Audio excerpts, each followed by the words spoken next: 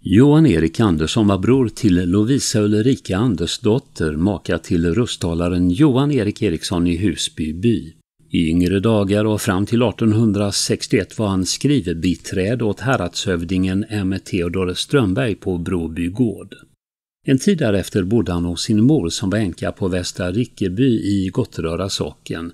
Men 1881 hyrde han ett rum och kök hos sin syster Lovisa Ulrika. Sannolikt är det hennes barn August, Erik, Viktor och Lovisa Kristina som är de tacksamma arvingarna som rest stenen. Särskilt Lovisa Kristina torde ha känt tacksamhet mot morbrodern. Han hjälpte henne och hennes fem barn att reda upp det kaos som uppstod i och med makens tragiska bortgång i mars 1887. Hennes flytt från socknen i november 1889 och barnens emigration till Amerika bekostades av morbrodern. Lovisa Kristina dog på fattighuset i Sollentuna 1925 och ligger begravd i familjegraven.